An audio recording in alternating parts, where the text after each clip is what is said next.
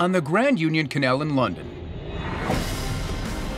a strange sculpture is coming to life. Wow, this is awesome!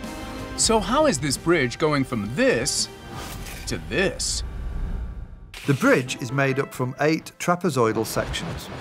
Each trapezoidal section has two pistons, one on either side of the walkway. The powerful pistons emerge from hydraulic cylinders, which are filled with an incompressible fluid passing through tubes, ultimately powered by a pump. When the bridge is in its down position and the hydraulic pistons are activated, the handrails are pushed towards each other, which causes the bridge to fold up into its closed position. When it opens, the hydraulic pistons activate. This pushes the sections apart and it becomes a working bridge again.